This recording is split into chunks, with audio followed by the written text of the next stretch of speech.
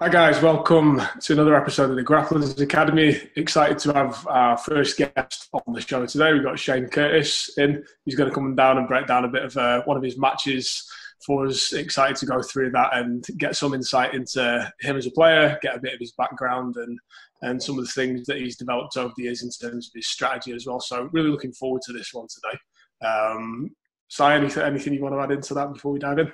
No, I was uh, just excited to sort of get into this, um, find out a bit more about Shane's training, um, and a bit interested into what what he's got planned for the future as well. But uh, let me start off with uh, sort of like how did you sort of find the sport, or how did you sort of get into grappling really?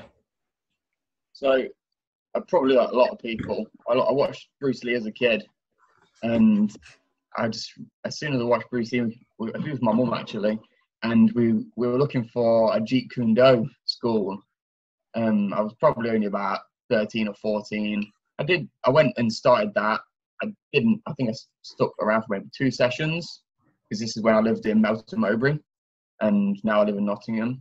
And then when I moved to Nottingham, I wanted to try and pick it up again, and I ended up going to a gym called Gym Combat, which doesn't exist anymore. Mm. Um, but I did I did um, Jeet Kune Do there for probably six months, maybe.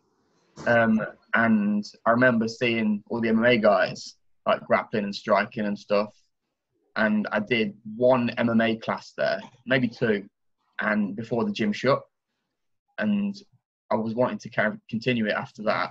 I ended up just bumping into some people that I used to train with, and they were they were telling me about this other gym that was opened up which ended up being Nottingham MMA.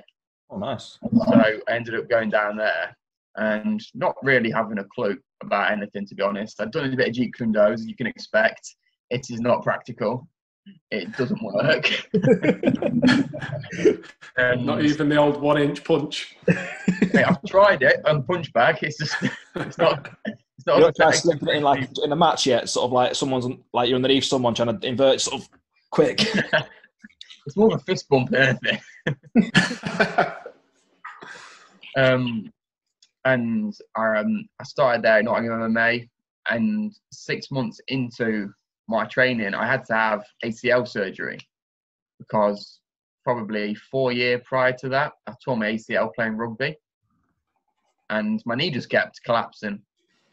So I ended up having nine months out after only training for six months. And I was only doing a little bit of MMA, not much, maybe a couple of MMA sessions a week. Um, wanting to be an MMA fighter, being obsessed with Conor McGregor, as you can imagine.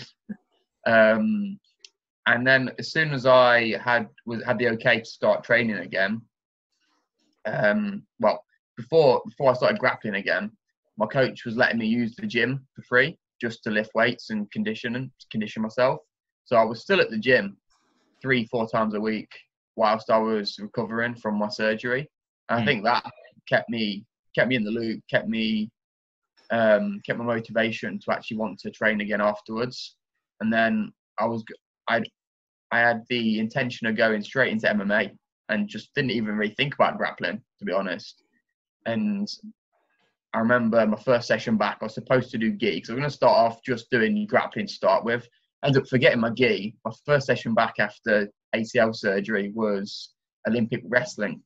Oh, um, I remember, I remember, I, I, I, remember thinking it's probably not a good idea, but I surprised myself with how well my knee held up. And next thing you know, all I was doing was just grappling, just jiu-jitsu. I, I didn't even think about MMA again um, until recently. I sometimes go through phases where I decide I'm going to be an MMA fighter and then get bored of it when I realise how much I love jiu-jitsu. But before lockdown, I was actually supposed to have an MMA fight in April. Oh wow! I'd nice. had one booked and everything, and and then this shit happened. yeah. So uh, since diving back into it and focusing just on grappling, how many years have you been training and focusing on the jiu-jitsu and the grappling side of it now? Probably be just over four years now. I think so. I probably yeah, four years and a month too, something oh. like that. And mostly, uh, do you spend more time gi training or no gi training? Um, well, at our gym, I just I train every session I possibly can do. So we end up doing uh, gi on a Monday, gi and no gi on a Tuesday, gi on a Thursday, so gi on a Wednesday, gi and no gi on a Thursday, no gi on a Friday, and then both again on a Saturday. So it's probably about e- about even. I'm much. I never used to really like no gi actually, um, probably just because I wasn't very good at it. Um, nothing to hold on to. Remember uh, my first no gi comp um, got ankle locked pretty quick in the second round. So I was like, right, I need to sort this out. um, I think what I, it was when I when I got my purple belt actually that I ended up doing more nogi. I think you find, you find that quite a lot, don't you? Like across the board when Yeah, when purple belt sort of happens, you tend to sort of spread out more to the nogi style and open yourself up to it. I think with yeah with being allowed to do more subs anyway in the advanced category, it then makes you want to do even more by opening up the heel hooks and stuff like that. I think. But So obviously diving like back into you know making a transition from having a bit of a focus from MMA to focusing on or preferring more gi and then getting a bit more into no gi like and and the different stuff that's available did that kind of change the way that you played the style that you were doing when you made the transition to no gi or did you try and stick with a pretty similar game plan you know what? For a while, I stuck to the same game plan until it stopped working. Um, I used to just play guard. Like I had absolutely no wrestling. Well, not in competition anyway. I'm okay wrestler in the gym. I was, but I was too scared to do anything other than sit to my ass when I was in a comp because I would have messed up. Like if something's not broke, don't try to fix it. and everything seemed to be working for me. I just pull guard and play from there. And it wasn't until I was a purple belt that I started really playing top because I knew that I ended up just kept just getting swept all the time, and not even not even getting swept because the other person was any good. I'd just give up the sweep. And as one of the black belts at our gym just kept shouting at me for giving up the sweep every time because I was just like, "Ah, I'm on my back, it's fine. So I had to start making sure that I could stay on top. And then I just focused quite a lot on playing top. But before that, I used to play a lot of knee shield, which if you watch my match with Ben Hills, that is probably about eight or nine minutes of me playing knee shield, which is it's probably one of the most boring matches you'll ever watch. Um, me just try, me just stopping him from passing, him not passing for about eight nine minutes. So I thought, you know what, this isn't working now. I should probably do something else. Then I started trying to work a bit more on the leg locks because then because then I can actually add that in to my knee shield game. Um, and even now, I still play a lot of guard, but I'm I much prefer playing top as well. Well, Yeah. My coach, he's he's a big guy. He's about 100 kg, so I get fed up of just playing guard with him, just getting fucking smashed. And you'd be surprised for a big guy, he's so quick as well. Hmm. So it's with it with it being an MMA gym, is the is the style of the gym more like MMA grappling style focused, or Um, are more guys playing the guard? Surprisingly, not actually. Um, we've got we've got some decent MMA fighters that train at our gym. Dean Truman, uh, Carl Booth, but predominantly they're strikers anyway. Um, so their style doesn't particularly translate into into kind of into grappling like that anyway. Um, so I don't know. Most we we play a lot of guard. Paul Lukowski, our coach, he generally plays a lot of guard himself for a big guy. So we he just tends to teach more guard than he does top actually. And we've got separate wrestling classes anyway. Um, with Charles Labor, he's uh, think eight zero MMA fighter as well. In fact, he back in the day, I remember hearing stories of him tapping Eddie Bravo out in the gym. So he's pretty he's pretty decent himself. Um, and he was training back in the day with like Dan Hardy, uh, Dean Amasinger, Judo Jimmy, like these people that we still kind of train with as well. So yeah, it'd be surprisingly surprisingly, despite being an MMA gym, it is there, but there's a lot of guard, a lot of guard, and now more towards the, kind of the leg lock side of things as well. As Paul's been competing more on Grapple Fest alongside me too, so he needs to work on that as well. You sort of found that your training's started to orientate more towards the leg locking then, as a put like or favourable more towards leg locking as opposed to that other limbs and other kind of joint locks. Um, I, I mean, I think so now, more now, just because not necessarily because I'm better at that, just because I know that I've got to, I've got to do it. Yeah. Because to beat everyone, you've got to be able to do everything, and you, or Oh, at least be aware of it. Like I've, I've gone through now, just like letting myself get in leg locks, just so I can escape. Like I do a training with uh, Lloyd Cooper and Sean Madonna, and one thing Lloyd says to me is, "I've got to let people start with me in a heel hook or something, like just to escape, because I'm not going to get better at it. People aren't going to enter my legs at my gym half the time anyway, so I've kind of got to let them in order for me to be able to escape. Um, because he, he'll catch me, Lloyd, when he'll be like, "You that you could have lasted longer." It's like, mm, I don't know. um, so I've got, I've tried, I've been working more on like defending leg locks and then countering off of them as well. So Um, sort of like because say I'm that, used to it. that's sort of favouring your sort of your mindset now then for the way you're training and the way you're sort of approaching most training sessions is trying to improve your leg lock defense, your leg lock escapes, and then going into the counters, or have you? Does it sort of differ session to session? Um, it, it, I guess it just depends. Um, depends on what I want to work on that particular day. I I don't necessarily go into a training session thinking right today I'm going to work on this. I guess it just, I just feel it out. Depends how I'm feeling on the day, I suppose. If I've seen a cool video on YouTube earlier or something, uh, maybe try that out. Um, or depending on what Paul's teaching, really. Um, I've been working more on my passing as well because, like I said, my passing was not very good before. And if anything, I think that might be one of my stronger points now because Nice. I've focused on it so much. Um, and now, after all that, I'm re- I'm trying to really focus on my wrestling Yeah. because I that's suppose when I actually um, to the ground. you know you, you're a really active competitor, um, and there's quite a good scene down there with local gyms that you know are in the vicinity in Nottingham as well.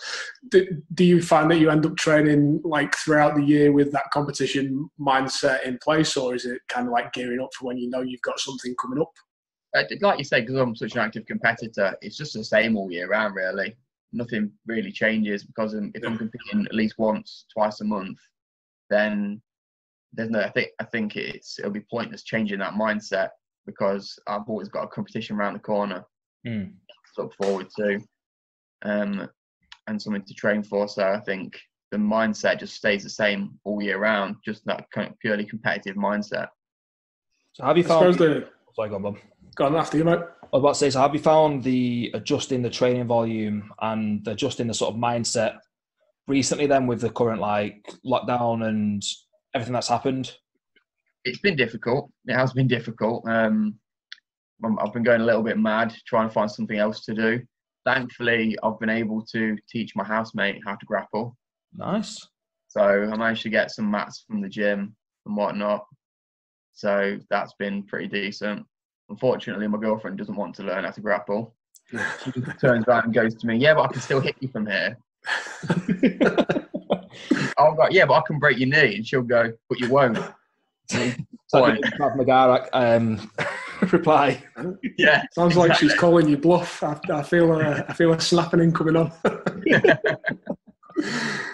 To be fair, like my, my missus is exactly the same. She doesn't want anything to do with any jujitsu, and if I ever try and do anything on her, I'm just going to get a punch square in the nuts or my eyes Yeah. poked or something like Yeah, that. So exactly. I've learned to leave it alone now. To be fair, She's done that before, so I've I've got to be wary, otherwise I'm going to collapse on the floor after getting hit in the nuts.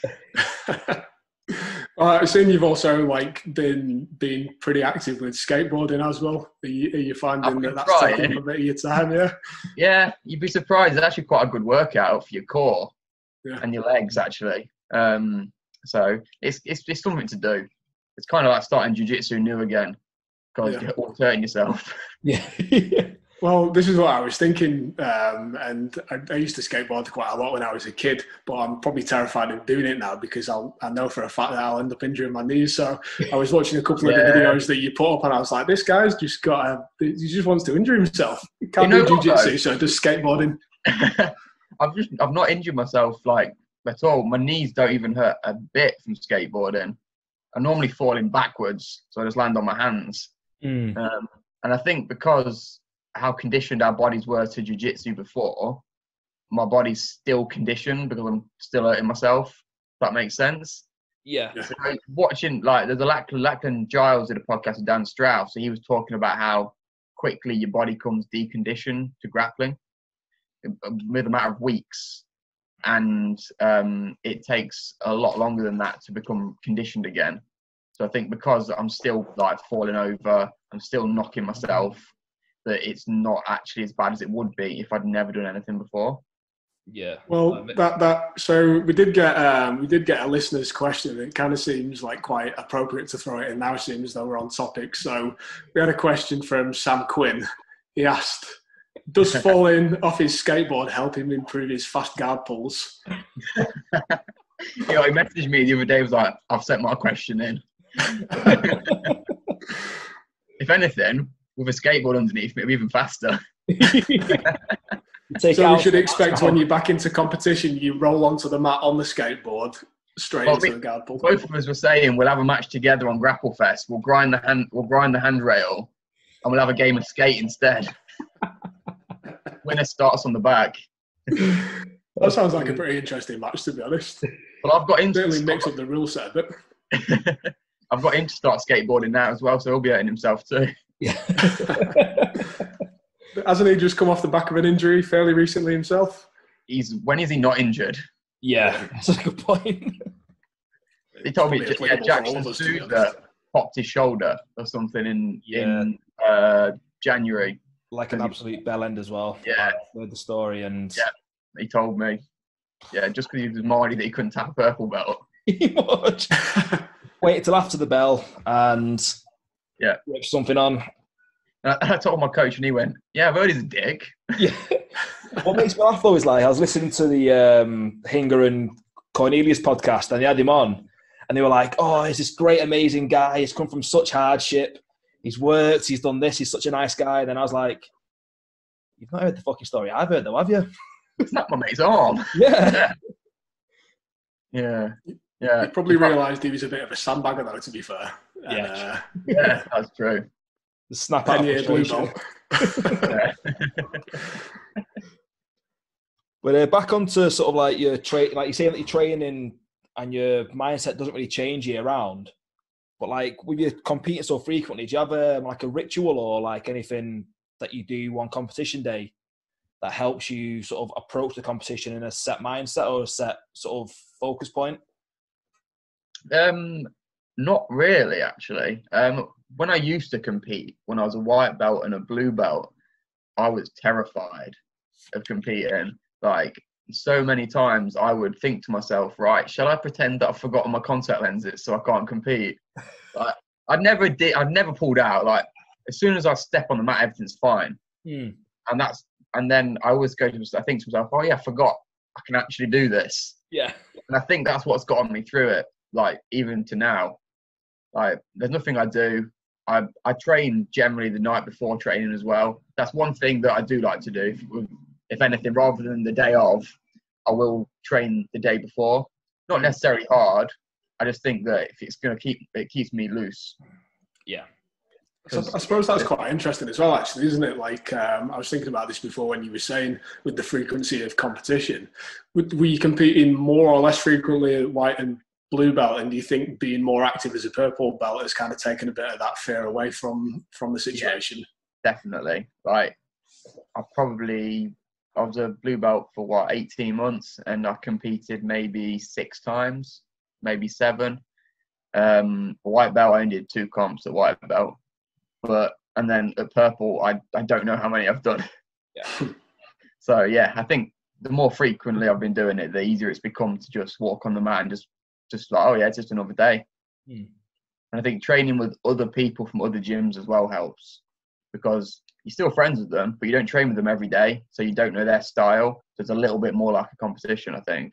It's like the element of stranger danger where you don't know what's Yeah. coming, you don't know how they're going to respond to stuff that you do as well. Exactly. I think that also brings me on to the point where sometimes a brand new white belt can be more difficult to roll with than a white belt that's been there for a month because he doesn't have a clue. He's just doing anything and everything. Whereas with a white belt that's been training, you know what they're going to do. Yeah. because you've been teaching them or whatever. They've been kind of conditioned to move a certain way, so they Exactly. fall into the patterns that they're supposed to. Yeah, it's funny with my housemate. It just makes me laugh that some of the things that he do, like some of them's like, oh, that's kind of worked, and some of them are just rolling his back as well. so quite funny in that respect. It's quite interesting, that isn't it? Like we were having a little bit of a similar conversation about this, maybe this week or last week. But the the kind of consensual nature of what you're saying that you're going to be doing with your train, like in training partners in jiu-jitsu, it's like we're both here to do jiu-jitsu, but then translating the benefits of that over to like a more of a self-defense or an MMA aspect. And hmm. like the likelihood is if you you know you're fighting somebody who doesn't do jiu-jitsu, they're- not going to be happy and just pulling guard and having an exchange on the legs. Like like you say with the white belts, it's going to be something unexpected. And Yeah, and like I think it's important for people who do train any martial arts, but probably particularly jiu-jitsu, is like just realizing that just because you do jiu-jitsu doesn't mean that they're going to follow the rules of what you want to play or do with it. Yeah, Um, that's very true. I mean, if I ever got into an altercation, I'd probably just kick him in the dick and run off. so, I mean, if all else fails, Or scale off. oh yeah, perfect.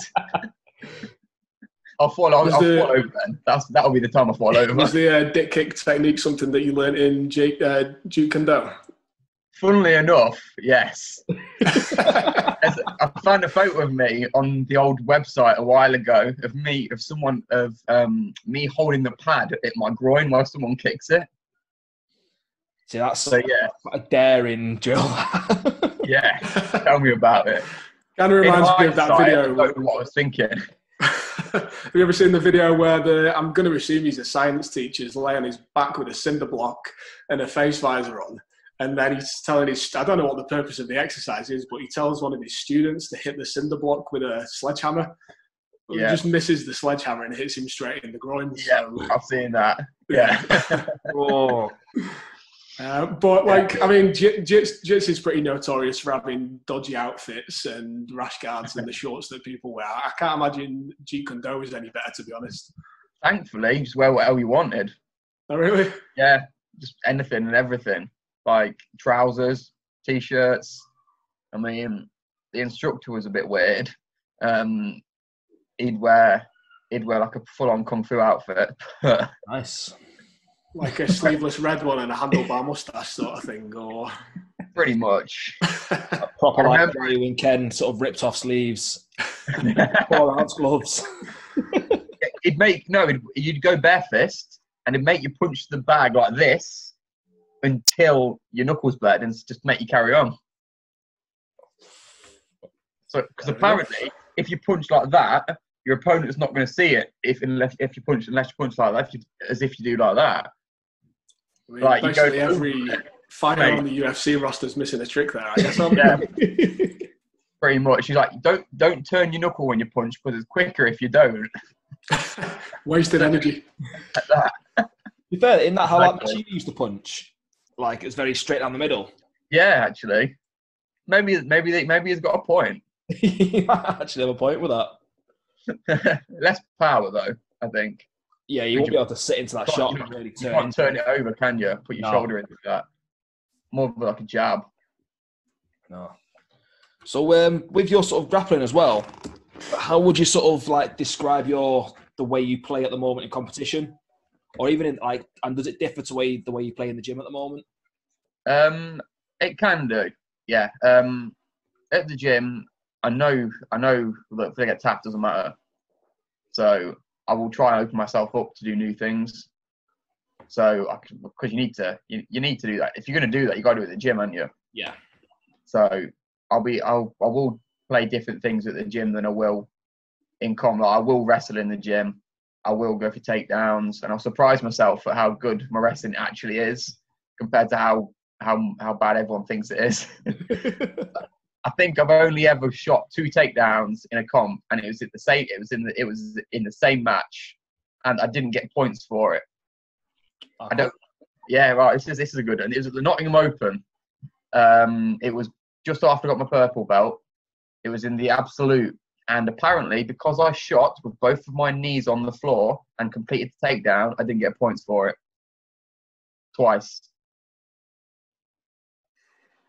I'm, I'm trying. To, I'm trying to see how that one pieces together. To be honest. Yeah, exactly. Makes no sense, does it? I still would, but I would have won the extra four points had I had I actually got my points for my takedowns. That's ridiculous. It, yeah, no, th- there's not a rule, is it? my coach was on the um, side. Paul, Paul, was on the side, just thinking, "What is going on?" He, he went off to find Victor Estima to go and have a go. I suppose off the back of that as well, then, like with that in mind, do you prefer um, competing for points or sub only? I much prefer sub only. I think. I mean, yeah, I guess it depends, but um, I think all round sub only because you've got a better array of submissions, haven't you? Mm. Like, especially like I remember doing the doing the uh, Empire grappling uh, in the nogi, and so many so many positions. Like, could he hook you from here? But I can't. Do you think there's like a happy medium on rule set? Like, what what would be your preferred rule set if if points were to be included, let's say, for example, or you know, if you're looking at different stuff that's been before, like the EBI rule set compared versus the ADCC rule set, do you have like a preferred one that you would compete in all the time if you could? I guess it's quite subjective, isn't it? Like some people prefer EBI, but then you can just curl up on a ball for ten minutes and then hold on to him, can't you? Afterwards, um, I'd probably say ADCC rules. I think that seems that seems to me to be the best because then you can try things without sacrificing points for half the match. And then if that fails, at least you know that you can try and pull it back from with, with the points. Mm. So yeah. We were talking about this a couple of weeks ago, weren't we? Like I, yeah. we were saying that ADCC is probably one of the fairer rule sets out there, and I would probably yeah. definitely when it gets to like that higher level end of competition, there's probably a bit of gamesmanship with uh, playing the timer oh, until the points is. come in which there's always going to be in any rule set. But it's the same happened with EBI, didn't it? At the beginning, it was fantastic. Everyone yeah. loved it until everyone started working it out and playing the game. Well, it happened um, last on Sunday night Sug as well, didn't it? With um, didn't go his way though. That Van der and Checo. Yes. Um, he tried to sort of back off and play the sort of play the game, and then got caught in the overtime. Yeah, thankfully he didn't he didn't win. But yeah, I was I was quite worried that Craig Jones was not going to beat Wagner in overtime. To be honest, because you know, Wagner was like on the back. I was Craig, expecting that. He didn't. He didn't seem to come out, or did he? Like he just didn't seem to get out the first gear when he had when Craig Jones on his back. He just sort of yeah, kind of like I'm alright. I don't think he was expecting Craig to finish him as quick as he did. No, no, definitely not. With Wagner being smaller, I think it would be easier for him to, to turn in Craig into Craig's guard mm. or spin to his back or something like. So I think he thought that maybe he, he, it would have been easier for him because he just kind of went like that and just stuck his arm up, didn't he? Expecting yeah. Craig not to be able to sub him.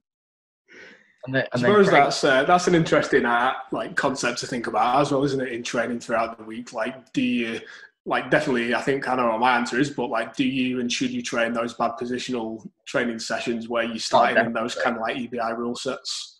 Yeah. I don't particularly train for EBI, but I will let people get me into bad positions. Mm. Like I'll have I'll make even just if I'm being stupid, like I'll be I'll be talking to someone and then I'll just not be thinking and I'll be in a triangle. Like, oh, here we go. Blue belt thinks he's gonna tap me now. It's just like I think it's a good way to get the most out of like some some of the less experienced training partners that you've got as well. Obviously, it's important to be put in those positions by you, like you betters in the gym. You know, people who can sub you ordinarily as well. So you've got yeah. the opportunity to work out of it. But as long as you you know giving them something like the the lower belts, if they can get into that position and you can work through it, and it's giving them something as well as making the the round more interesting for yourself as well. Like, is that something that you kind of yeah, sort, of, sort of tend to do? Yeah. Because what I'll find is if I feel like I'm not getting the most out of a role just because with, without being disrespectful, it's, if it's just a bit too easy, then I'll try and put myself in a bad position in order to then get more of the workout and then be able to fight my way out of it. Because there's a big difference between Paul putting me in a triangle and like a 70 kg blue belt. Like it's not quite the same. So yeah. I'll, I'll allow myself to do that. I will not allow myself well, I'll try not to get in a triangle with Paul. But, but if you do, you can always turn around and say, you know, I just wanted to get in that position to kind of feel it out and see exactly. if I could. I wanted yeah. to give you a chance. I know your shoulders hurting. you right? Um, I, I, suppose lastly from me as well, before we dive into the matches, like with the training volume that you've got through the week that you talked about before, how do you fit your, or if you do fit any strength and conditioning in around that? Well, um, I just do it. I just do it before. I've got. I, I train. I generally do three days a week. Um, I, I, I work with Brotherhood Health and Performance, Andrew Hardwick, and um, I generally, yeah, just normally do Monday, Wednesday, and Fridays, give or take. Um, he's quite good with speaking to me. If I can't do something, then he'll be able to change something around for me. Um, but I just make sure I make sure I get that strength and conditioning in. Um, more, it's more strength training than conditioning because I find rolling itself is the conditioning part of it. Yeah. Um, yeah.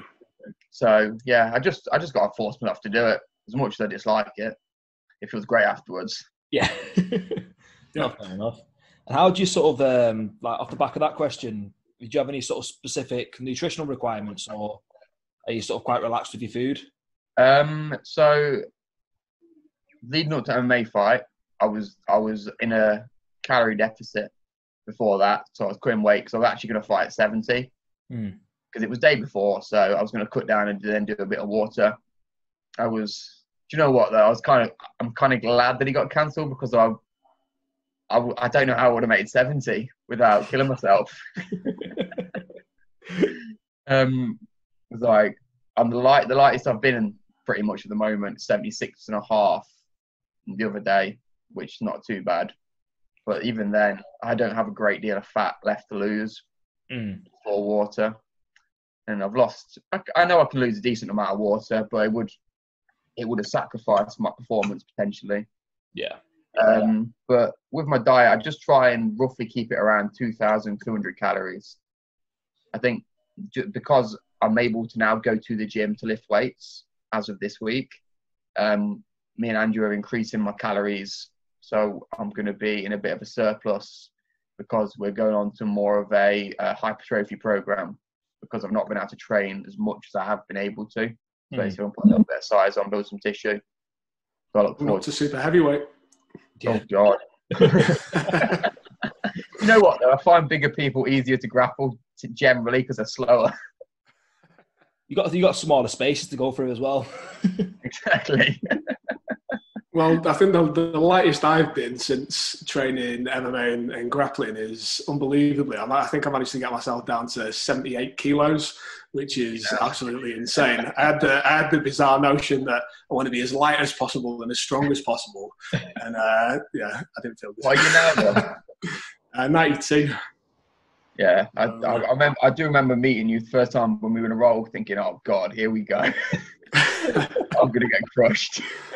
Well, we're kind of going to what I was just talking about there. You've got a good level of strength. Uh, what, what, are you walking around at typically? About 70, 77 on average at the moment.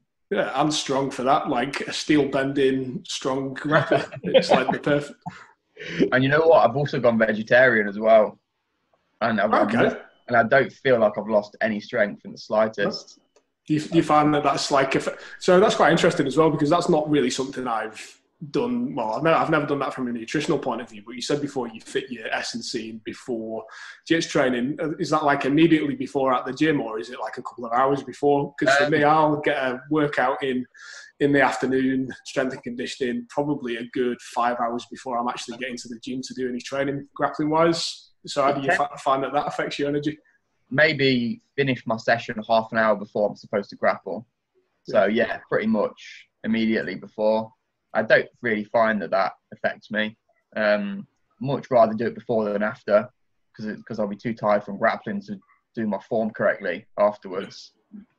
Um, but no, I don't feel that really has a, has a, has a problem, to be honest. How long are your workouts typically on the on the strength side of it? Uh, I guess it depends on what we're focusing on at that point. Um, roughly thirty to forty-five minutes. Yeah. So kind of standard strength. Still big compound movements, squat, bench, deadlifts, pull-ups. Yeah, yeah, pretty much. That's pretty much most of it. Some like plyometric stuff. That yeah. was when I was for the MMA fight. Um, there's a little bit more isolation work now just to build a bit of tissue. He's got me doing some bicep curls, so I'll be Yeah. going off in Walking out the mat like next Bicep curls have got to help the steel snapping as well, surely. Surely, yeah. I mean, bicep. Surely. I don't see why they'd stop with anything. Like, help, it wouldn't help with anything. Like sprawling and getting underhooks on someone. Well, Arm I'm going to be perfectly honest. I was. I was having a chat with Sai about this the other week, and I think some of the isolation training movements, uh, like all joking aside, really functional for grappling, like Yeah. leg extensions, bicep curls, um, Yeah. Bench press. bench press. Yeah, pretty much my side control escape was. So I actually remember um, like rolling. You seen uh, Lee Chadwick? Uh, yes. So I was rolling Yeah. with him a while back, and I managed to like isolate an arm, and I was doing my best to just try and extend that arm. Hamstrings were cramping up, glutes was cramping up, my back was going to spasm, and he's there, just looks at me, and just curls his arm and goes, "Bicep curls that lad," and I was like, I just sort of, I'm, I'm done. You know what? It's funny you say that. I always have a joke in the gym. Um, if I do that, I just call it the Arnie. I'm just sort of really trying to work up my strength now, just to be able to do that to somebody. I'm like, it's like I mean, my goals. yeah. now. I, I well, like to be that. fair, I've also seen him throwing those Atlas stones around as well. To be honest, and they must be about 130 kilos. So Yeah, Oh, blimey. the strongest human I've grappled. Really? Yeah. Wow. Okay. I might have to. I might have to try and give that a go afterwards. But uh, before we get into your match, um, do you want to give us a bit of a background story behind it, and we'll uh, then we'll get it lined up and we'll go into it. cool. Um. So, um, David Leatherby put out a bit of a post about who wants to fight me because he he was he couldn't find anyone. I've done. I've had quite a few matches on role models now because they're one of my sponsors, and so far I am undefeated at role models. That's that's all the way from my blue belt competitions. I think I've won gold at every blue belt competed for them, and then I have won uh, three of my sub only matches, and then drew two of them now. One with Ben Hills, and now one with uh, Tom. Um, and loads of people just kept tagging Tom in the in the thing in the post, and David was like, "Not really sure what this is, but do you want him?" I was like, "Yeah, Yeah, yeah, I'll take him. Like, I knew he and recently got his purple belt. I know he, he trains full time as well. Actually, I think he quit his job to train full time. Wow. Lucky for some. Um, and and then I, I'd already knew him anyway. I've met him before. I'd I had a bit of a chat with him. Like I say, back in October, no November on SSF. Um, he fought one of my training partners Adil and beat Adil quite quickly, probably like maybe 30 seconds, knee barred him. And I struggled to to attack Adil. Like I don't know the last time I did when it wasn't in the gi. So I was like, okay, I want this match. Um, because he's a Adil's a good grappler in his own right. I think he might be better in the gym than he is in the competition. And he's pretty more much more of an MMA fighter than he is a grappler. Uh, but if if he struggles, then I wanted to get that match. And then afterwards, um, another mate of mine, Danny Tyler, um, who he's been on Grapplefest a couple of times. He's an MMA fighter. He rolled with um, Tom at that ADCC camp in January, and he was telling me he rolled with him. He's like, I've never felt someone back. He, he, he literally went, I've never felt someone back control so tight, like a seatbelt. And we do training with Sean Madonna, and when Sean Madonna's on my back, I'm getting choked. Like it's 90% of the time, I'm getting triangled or choked. And I was like, what, even better than Sean? And he was like, yeah. So I was I was really quite surprised um, to ha- what he had to say about him. And as I said, he's got incredible passing, strong knee shield, and but and then he went, well, I think you'll beat him. so I was like, right, okay, I need this match. And yeah, it was a good match. I, I really enjoyed it. I really enjoyed the match itself. He's a really nice guy. We had a good chat at the end afterwards, exchanged some techniques and stuff. And I know he's, I like to call him Ash Williams Prodigy because he uh, trains under Ash Williams. Oh, Um, the main trading partners, as far as I'm aware. I've seen him around as well before. He's been on Grapplefest before uh, Josh Charrington on Grapplefest. Yeah. Um, Josh beat him, um, but it was a good match. He had Josh in a bit of trouble, and I fought Josh before as well. I beat Josh by an advantage at Empire Grand Empire. I'm holding on to that though. um, that was a that was a tough match as well. that was tougher than this match. Yeah, Josh is a handful. I remember afterwards wondering why my ankle was hurting, and then I rewatched the match. He just stamps on it as he tries to pass. I was like, ah, okay, that's why. so he's got like the same intensity in the training room as he has when he's in competition. Really? Okay. I want to. I want to roll with him. In fact, he said to me, he says, "I'll never understand why people pull guard, but I'd like to roll with you more." uh, that was funny, but yeah. So um, all the, all those things combined together in the build up to the fight, did that kind of like change your mindset going into the match, or did you go in there wanting to play a particular game plan that you put into place ordinarily? Um, I don't know. Really, I don't know. Really, I mean, I've got I've got a really bad habit as well of not warming up before I go on go on the mat. I think, oh, I'll be fine. I won't gas out. And uh, I went in there. I didn't really warm up, and within a couple of minutes, I was blowing. It was not good. Um, which I did the same. I did. I, I, did. I did the same thing on Grapplefest as well, where I just don't. Uh, but I'm okay. I'm fine. It's just frustrating that I think why didn't I warm up? And then, but because I didn't warm up, my game plan in my head kind of disappeared a little bit mm. uh, because I was just trying to kind of keep my wits while I was trying to get my my energy back. Um, but the game the game plan generally is pull guard. Like when I when I when I compete, I'm normally just pull guard because I know that if I know that I'll probably not. I'm just a bit too scared to try and take them down. If I'm honest with you, because even it's it's a silly thing to be scared of because I can wrestle. It's just I'm in the in the back of my mind thinking, what if I get guillotined? Yeah. So it's normally the same mindset for every match is pull guard unless they do. Well, that'll probably kick us off quite nicely into lining that matchup and, and talking about the, the stand up side of it. So, should we get that queued up and dive yeah. into it? Yeah, let's go into it.